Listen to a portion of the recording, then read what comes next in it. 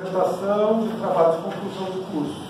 Ao primeiro dia do mês de novembro do ano de 2018, às 10 horas, na sala DAC 11 do Centro de Comunicação, Turismo e Artes, realizou-se a cerimônia de defesa do trabalho intitulado Dança de Salão, um olhar voltado às questões de condução, apresentado pela aluna Nadilene Rodrigues da Silva.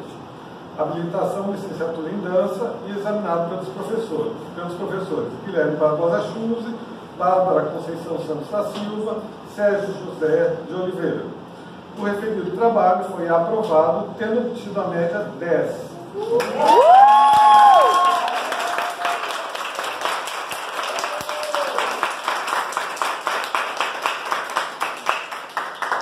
Bom, então damos por encerrada essa sessão e vocês estão liberados para abraçar